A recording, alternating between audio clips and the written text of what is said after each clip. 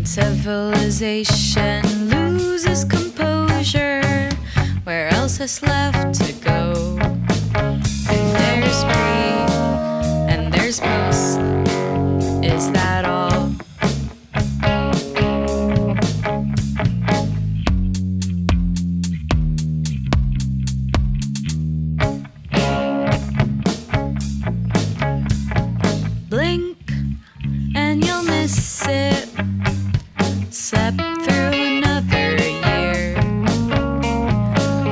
Security and manicured lawns through a dusty window sheer.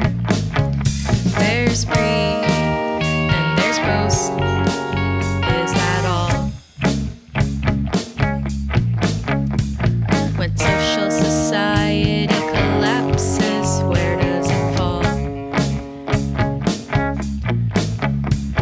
It's not that my vision's innate to me, consist of what's outside. I've been the kind to my bets, didn't think that I'd be right.